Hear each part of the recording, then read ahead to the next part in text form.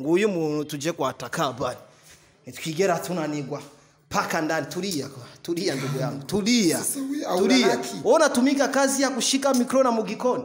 Mikro mi niko niko niko ku live na ku live wapi? Uri mu masafuria na masana na manani. Narindi live. Pako wifi narindi live Hariho wifi ringa? hapa napendaka juu. Hey.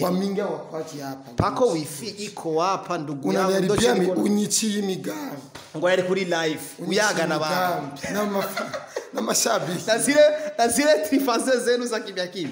Si systeme eh. Shaka badirisha simu. Si bwa bwana eh shaka badirisha Oh, simu. macho matatu angalia kwa Eba, ni macho mangapi warahinduye telefone kabisa Ni imani macho mangapi? imani ishimwe cyane twarasenze ijoro ku- ku- ku- ku- kuvuye kuja kwakira y'umusaudiya ilikuwa ni nani?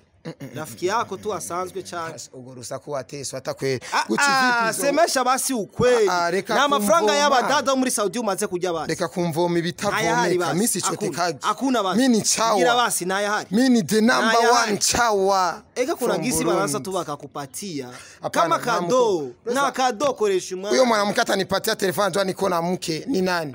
Ni kawaida ega misi ndugu fuchikaji yangu. kama niko na mke. umugore. Mwata nipatiaga najua niko na mke. Abizomenye yuko. Anapana. Hapana jua mapenzi. Ehe. anapana tu. Nawe si na- nawe ni ni Briella. Briella narapambanije uko nshoboye kose. Kugira Briella aronke basi nakoyoko eh? Aronke umunezero muri we. Tuza tubona rero aguye mu mata aguye muri famiye mu bantu bameze neza.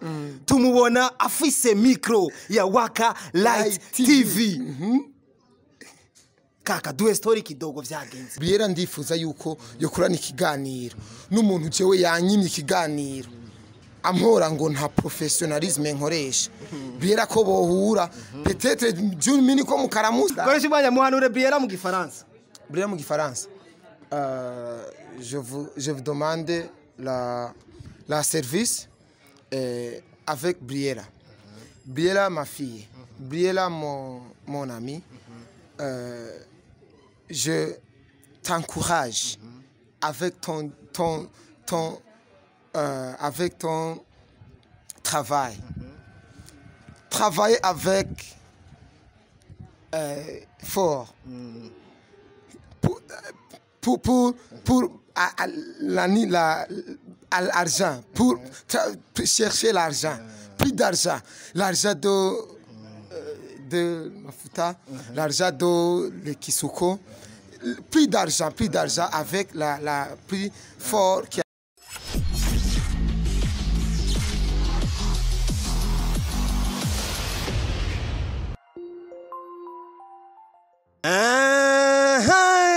Aha, wakunzi wa Hitop TV the number one channel in our country. Ndabaramukije bivanye nawe muherereye yose ku mpande zose z'isi. Call me umutananigwa.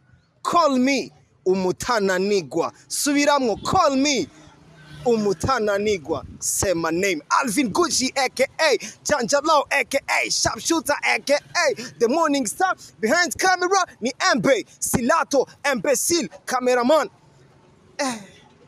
Wakuzi wa Hitop TV murabona ko turi acha kunicheka balia ndiko ndara kungene tuhugurura hano abo wakuzi wa Hitop TV turi mu bwami bwa Waka Light TV nje kurondera mura eh muraza kumumenya uje kurondera. Sasa ndugu yangu hari umuntu yambujije ibintu vyo kurira nka portail. Uyu munsi navyo nkora reka ndawe gusa ko oba ahubwo. Eti yangu bikwaye?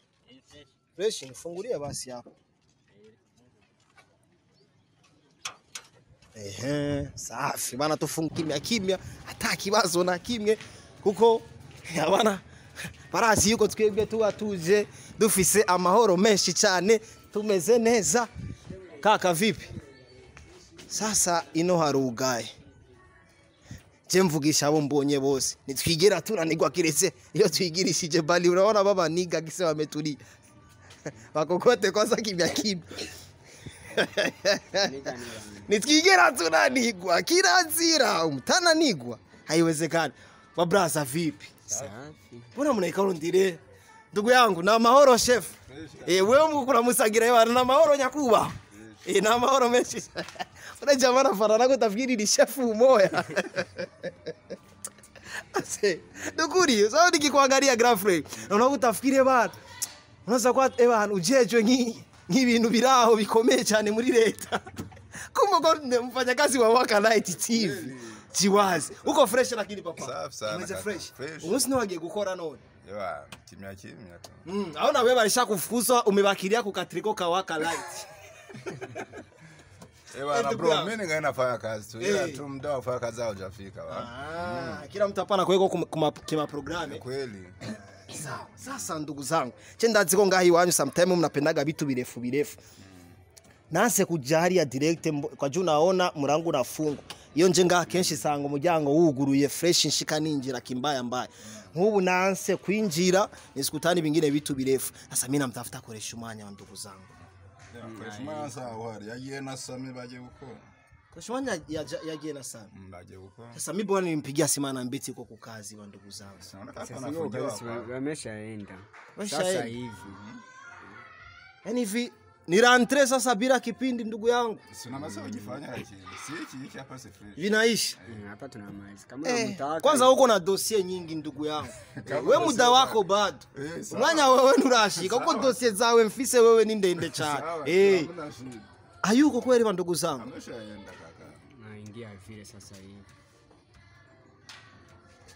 Bali tuvyemere kwe Nitwigera tunanigwa. Twende bali.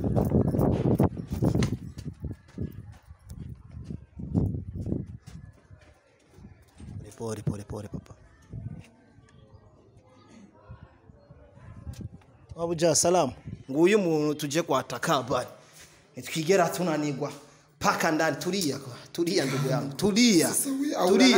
Wewe unatumika kazi ya kushika mikro na mugikoni. Mikro mimi niko niko niko ku live na Ku live wapi uri mu masafuria na mananiu. narindi live Pako wifi narindi live ariwo wifiringa hapa ndio kuna juu. Hey. waminga wa kwaki hapa. Pako wifi iko hapa ndugu yangu ndio chini unyichi imigambi ngo yari kuri live. Uyaga na bana na mashabi na zile na zile trifase zenu za kimya kimya. Si sisteme wakuzi wa wakuzi wa hito TV tena. aha wahinje kwanza. Tulia tulia. Mm. Hapa mulipengia iko mherukanu kumbe mm. kumbe. -hmm. baja wajama mukorana hey. Eh.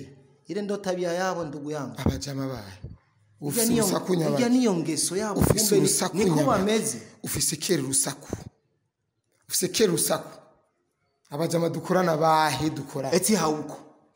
Ngo si huko. Mama yangu. banajua nilikuwa nilienda wa- nagi ngo- c'est vrai ngo Ba- jana Sami ngo gukore. Ah, ah, asami au ah, kumona kulisa ni kwa jomo mchu twari twagiye meni kafana rujya kwanza ndabwira asami turindire. Kaka turi wewe ufise soma kwanza grife umutanani? Eh, marizia marizia soma grief. Soma grife umutanani gwa mbona jani Rodaya waka Jani ya waka hiyo. Mwara mwara hii niyo bura niyo bura nyene kuzana. Utuntu twakujichanga kawaida. Nitwigira tunanigwa ilianziaga wapi? Koresha umwanya. Jari mimi nawe tukitumikanga kipindi au tuliaje? Unataka unataka kunichanganya? Ah, ah, simesha ukweli. Nitwigira Ndugu yangu. tunanigwa ilitokea wapi?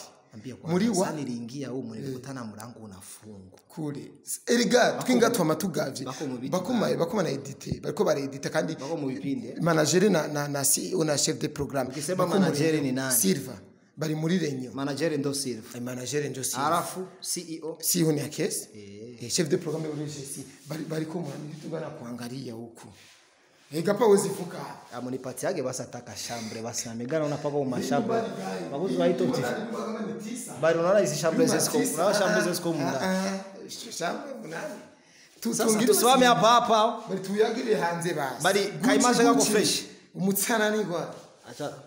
Eh. Shaka badirisha simu. si bwa bwana eh shaka badirisha simu. macho matatu angalia kwanza. Warahinduye telefone kabisa mangapi? imani ishimwe cyane twarasenze ijoro Gucci Gucci. Kuna watu abo basista betu barikataza tusibatie mu munani mu Eh, eh, nyene aba sishobora kubashira mu akipa ko maimaje mwalichezaga sinema hapa mlikuwa jwa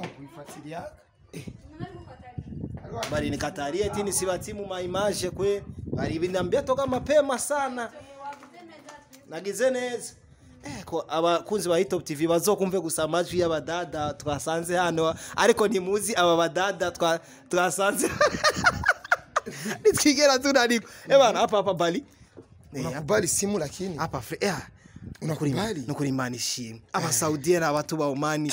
Mwarakoze ikintu gikomeye cyane uyu mwene wacu kuraba ukungene mwomufasha Wapi vrema. eh, mwarakoze ikintu gikomeye cyane kuko telefone. koresha umwanya yarafise turiya kwanza. turiya kwanza. telefone, ya koresha umwanya yawe urafise yari telefone ifise ikibazo gikomeye cyane ariko mwarakoze cyane kuba mwaramuhezagiye mwene wacu kano gatelefone murabona ko ari agatelefone kameze neza. Telefone, bro. hakuna mwanamke anunusia telefone none ya mahera wambwiye ku- ku- ku- ku- ku- kuvuye kuja kwakira. Y'umusaudiya ilikuwa ni nani?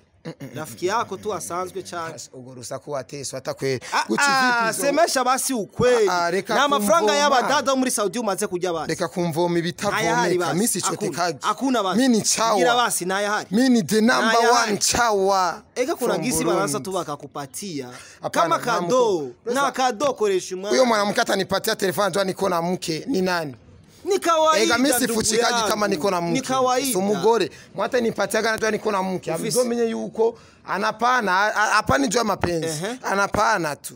Kandi Sigo, si abakobwa gusa wacha boyiduhereza wabaye ku- peko tashabiki ari nk'umufana Ni nk'umufana nyene muri yokwikura. Saudiya. hapana. Canke Sa- Oman. iyo Saudiya munaipendea nini Saudiya haricho mwayibonye ko Hayo Saudi attention acha acha ah, agakobwa. acha acha acha acha Sanga- nijikaukeza. bakunzi ba Hitop TV the number one channel in our country mwabonye kungene vyatugoye kungira ndamurongo uyu na the number one sutwa from Burundi. The number one sutwa. Kwa basi micro bisema hapana. the number unabisema the number one chawa hari abantu baba bibaza ko je ni we umujama dufitaniye beef. Atuna beef. Gusa nakazi niko kadusanga mu bintu bitandukanye. Wadusanga nyene ibintu biraparanganya my bro fresh mm. lucky safi safi tu. Ariko uvuze ura- ura- hari akantu uvuze hari abantu baba bibaza ko dufitaniye beef. Ego. Hari abantu baba bibaza ko dufitaniye beef. beef. Wibaze rega nta kaburimbo hari impamvu. Hari impamvu. Urumva hari impamvu. Beef irahari entre je nakoresha umwanya mwebwe mu bisanzwe Ah, kama ndabivuga. beef iko sema tuianze ariko tuivanemo umu- hakuna umusaruro. bifu lakini wewe guci hari ukuntu uba ushaka kuprofita umuntu. Guci ni mara ngapi nishakomba kipindi nakwambia guci ngo dukore ikiganiro. Hari ibyo nshaka kubaza. Ushaka burya iyo sinoyirema nka Ah, ah, bifu sindanga. ariko narabyihojeje Sindanga. me weye Nurandondera. weye uranzaniranya. Uniombe usiniombe nk'ubu nabonye yandikira ngo kaka vipi? Uko ngamboga ndamuhenda sisiho ndi. Sawa hamna noma ariko ni ukubera nyene imbere kwanza ya vyose we nyene wisomeye. Urishika hivi ukajisomea utananigwa utananigwa ariko nitwigira mushayigeuza Ah, wewe nyene wewe- wewe nyene ubwo nyene waciye wivugira eh kaka umutananigwa tayari. Iyo grief irahejeje bigwaye sasa kaka salama Umeze neza? Kazi vipi? kazi salama salade fresh freshi. Je cyanzanye ngaha si kindi twarabonye amakuru mashasha. Ibintu vyiza vy'umunezero aho jeje nyene aho narindi. Nategerezwa kwishima. Mbone yuko umuntu nitangiye ugupambana kwanje. Nikwagiriye ubusa. Uku gupambana kwanje kwarazanye ikintu ciza kimeze neza. Mvuze uko hari umuntu mba ashaka kuvuga nawe si na- nawe ni, ni Briella Briella narapambanije uko nshoboye kose. Kugira Briella aronke basi nakoyoko eh, aronke umunezero muri we. Tuza tubona rero aguye mu mata aguye muri famiye mu bantu bameze neza. Tumubona afise mikro ya waka light Light tv kaka duhe story kidogo vyagenze gute. Eh, bo biera kwanza bakunzi ba, ba waka hitop tv ndazi muri bamwe ni bamwe. Unatoka ni bamonjo banatufuatilia gusa hari igihe bashuha nyene babonye ibiryoshe bakavuga ati reka turondere ibiryoshe. Rero uh, guci eh, ni umubrada yaragize ibishoboka vyose biera ntahangayike yaragiye kumusabira kwa petit frere landri yaragiye yarazi no kumusabira. Burya landri hajya ni petit frere wawe. Eh, ni mutoyi wanje ni petit frere urumva? ni petit frere mu byo utahura byose ni petit frere urabyumva ego. Rero eh, landri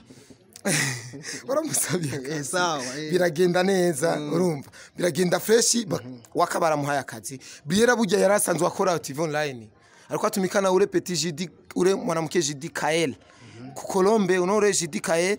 Bari wayitumika naye. Hari ibiganiro twagiye kubona ujya mukobwa Bril yarigeze gukora. Sasa waka abakuregeza ko ntibabiravye kwanza ngo yarigeze gukora. Bavuze ati reka tumuha akazi nawe nironderera ubuzima. Kandi warabishizemo ingufu nyinshi cyane imana iguhezagire. Rero eh, jewe kuri jewe ndagushimiye cyane wewe wagize uruhara rukomeye cyane. Eh, unapata kava kimya kimya. Eh, oro rero mu bisanzwe biera ni umukozi ubu ariko arakora ariko aravuguta ari muri systeme ya bien ma quiz. Sawa. bazi ko quiz zari zarabuze ngaha mu Burundi. Quiz yazizanye. Ivi nkeneye kumenya sindaguciriyemo ngomba kumenya. Briella mwakoze iyihe sisiteme mwiyumviriye gute kuko nibuka igenda muzana ngaha kwa sauda. Sauda yambwiye ngo irifo ko mvugana n'abankuriye. Muri abo bankuriye nawe we yaragushizemwo yongera ashyiramo na akesidani kuri wowe kugira ugorore umutima wawe uvuge bana mimi nakubali reka nibagire n'ivya haciye vyose ndemeye. Ni igiki wakoze kaka? eh, bo icyo nakoze si kindi. Eh, je nasabwe kumubabarira. Bansabye ati muharire. Nta kosa ridaharigwa. Je ndabiraba ndavuga ati none gasha asha niumba msama ejo yo yogira ikibazo. Minjo ndabakyani ko na, zambi. Candikura kwica ndambwira ati "Ka- dada je ndaguhariye. Pambana n'ubuzima bwawe jewe hanje ndahejeje. Baca baramuha akazi baramuvuga ati twa tuzindiriye koresha umwanya. Agira icyo abivuze basi biba birarangiye baca bamuha- kuri wowe birakorohera gukorana na briella muri kumwe je biranyorohera kubera mwebwe urazi ko Landry yanse yuko kwera mu covidume anajua weye ku mwanamke aramuzi bari. Haweza akamuregezea ejo woza ubona Briella atanguye kurya amakara. Woza ubona atanguye guciragura. Bivanye n'iki? Bivanye nuko akora muri mwebwe vidume urumva twebwe- na Landry pia mwenyewe. Urumva twebwe? twebwe turi abakozi bo mu ihoteli. Oya ni, ni, niyo motive. aho tuba na mashambre y'amahoteli. oya Landry yasiguye Ah, eh. ati kako ko mwanaume guci ndakuzi. Ega, narakiravye ikiganiro. Guci ndakuzi. Bari atare utamuregezea kweli Briera hapa rendi ya dimashe atonda kama twafatiriwe amatara yahaye. Azoba aje mu Eh, biganiro. Ah, mutacheza viganiro, machi eh, itakuwa ma viganiro. vingine unasikia itakuwa rero twebwe nta kibazo. Miye niko na mke hakuna probleme. Nta Briera noja kurondera urumva. Sauda ari hajya Sauda arakuze Sauda uyepe ni mtu mkubwa nikamtuka kubwa. Kakora mtoto mkubwa. Urumva sado n'umuntu bya akuze sauda vyiyorere mfise amakuru menshi cyane kwa sauda. Umunsi nzovuga ngo ndayashira ahabona Eh, igisagara kizocugumiye. Sawa. Kazi muyafise natwe ari igihe usanga tuyafise. Gusumbya urumva rero Briera twe nta kibazo ngaha. Ah, nta kibazo kabisa kuko Mubanye neza. tubanye neza ari ku muvyeyi. Akese ni muzazi. Akese no- anakubonye gusa umufashe uko oho. Nyerere erere. Sunajua Ndio maana na mimi niko na- kuna- uzagira Landry na bari nanje niyo systeme mpamvu ari zake ikiganiro nashaka System- kumukoresha n'ikintu bishikashike viku kiuno briera. Eh. anaona anarukaruka anaruka azowe yabizowe unasikia ni mtu mwenye najue kama ni systeme ya Eh, kazi tutakuwa eh. tumwe briera ntuzotinye ni ibintu bisanzwe ndagukoza uku ndakwegeje uku. Eh, ni bisanzwe attention, ah ni attention. kazi nakuwa niko ni mkazi. kazi lakini kesho ukifaa hivi hakuna kamera. Anakuwa ah, mimi naifanya niko mkamera mbele ya kamera. Utaangusha mbele ya kitu kamera. kizima. ngene kumenya eh, koresha umwanya Yego. nivyo mwarakoze ikintu gikomeye cyane kumwakira briera ubu briera murabona ko ariko arataka kandi bimeze neza cyane. Ego. Nikiye kiganiro wifuza ko briera yawukora kikakumotiva wewe. Kikamotiva. Eh, bon mu bisanzwe je ndamaze kubona ibiganiro byinshi bimaze kunca mu maso. Ariko Briere ndamuravye ukungena ngana ukungena avuga. Briere sio mukaramusi sana. Briere n'umuntu umenga ripoza ukuntu buke buke. Briere ndifuza yuko yokurana ikiganiro. N'umuntu jewe yanyimye ikiganiro. Ampora ngo nta professionalisme nkoresha. Briere ko bohura. Peut-être June mini ko mukaramusi peut-être minoza nikamushota yaratinye akorane na Briera. Ndifuza ko Briera akorana ikiganiro n'umuntu. Nyine atekereje gose ari pose bavugane. Bidesigaye ko na jewe ntobishobora. Ariko ari umuntu atinya umuntu. Vuga ati naka nkamuha umwanya. Atanishota nsange nadekonye. Me ure mutu mwikopoze akubaza ikintu wamaze kucitegurira. Umva ntakujaniranya Yego. urumva. Unamukasije ati ibi sindabi sindabikene aca yoroha. Lakini mimi awezi kanambia ngo ikingo sindakivuga ikintu napasha ni kukandamize mbako kiseme ko kitu. Urumva. ndifuza reko Briera yo kuri ikiganiro n'umuntu yanyima ikiganiro jewe.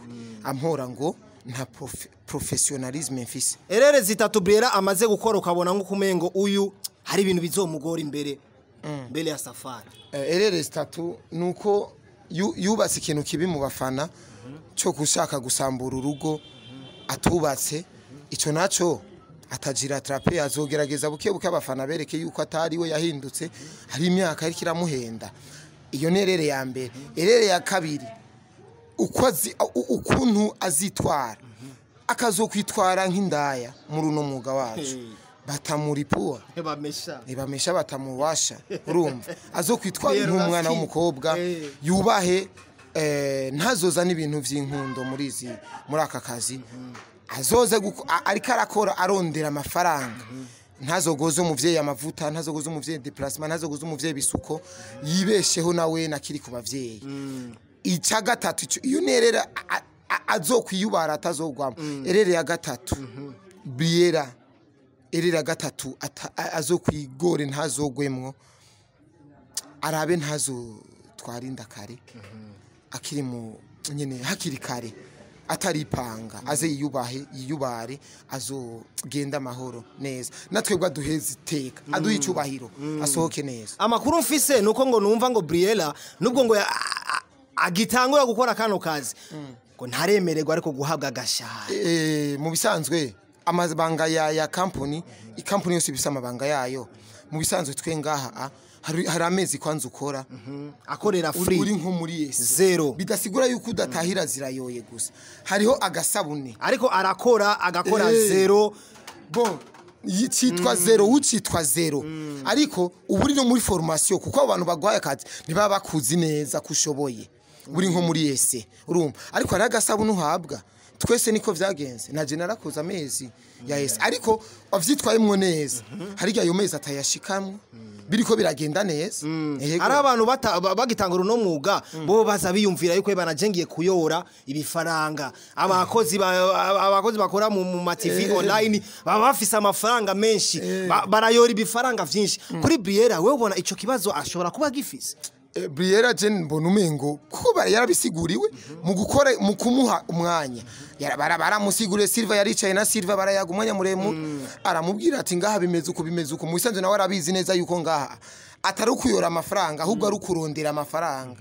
Urayarondera kugira uronke nawe. Kuko mu bisanzwe ino waka sinzi ko izindi kampani ariko zimeze ino waka uhembwa ico winjije.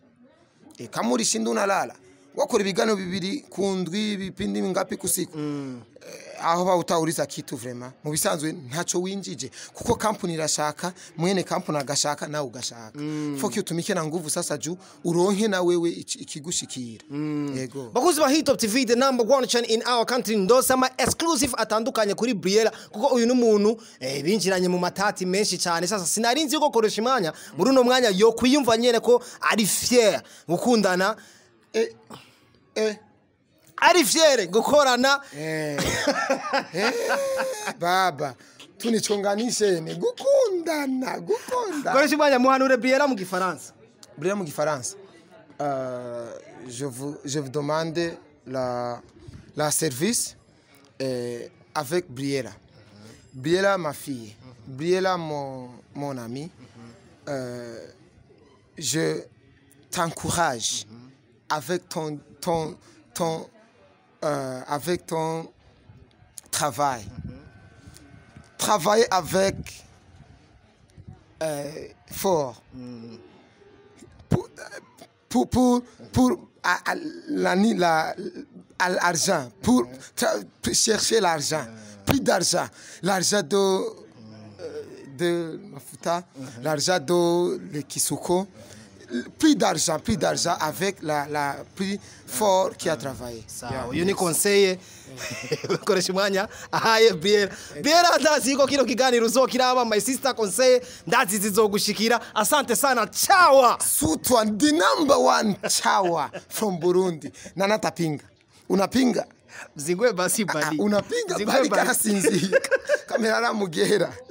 kwanza hivi mushamia kucharama ka Hiyo ni usuto. Wakuzi wa Hit Top TV the number one channel in our country. Eh bana kaka. Asante sana. Chetu wa dupa ambana nyene kugira tura sasa Briela leo akutumika eh eh alitumika? Eh sasa bwana sikumuona hapa kukaza ama na yuko huko ndani. Asha rentre nitwigera tunanigwa asante sana